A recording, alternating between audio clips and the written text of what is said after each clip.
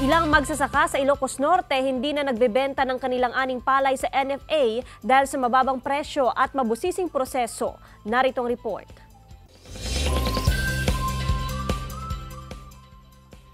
Hindi na raw ibinebenta ng ilang magsasaka sa Ilocos Norte ang kanilang palay sa National Food Authority dahil bukod sa mababa ang bili ng tanggapan sa kada kilo ng palay, mabusisi pa umano ang proseso ng ahensya sa pagbili ng palay.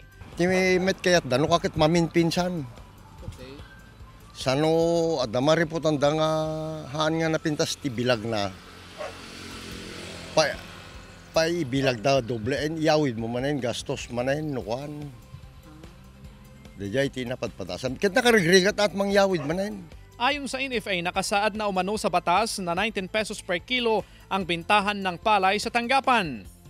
Ayon sa grupo ng Ilocos Norte Farmers Association Council, kailangang magtulungan ang NFA at mga local government unit upang madagdagan ng 3 hanggang 5 piso ang 19 pesos kada kilo ng palay na maximum price ng NFA.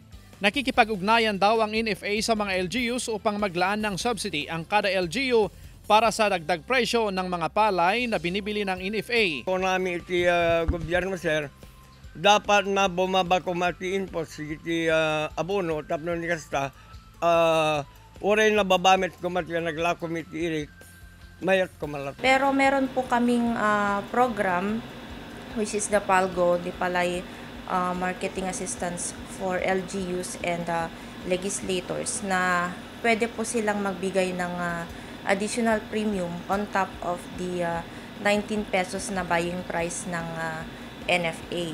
So, minimum po ang ah, 1 peso na pwede nilang ibigay per kilogram. So, malaking tulong po yun sa ating mga farmers if ever magbigay po sila ng additional premium na ganon. Breves Bulsaw para sa Mornings with GMA Regional TV.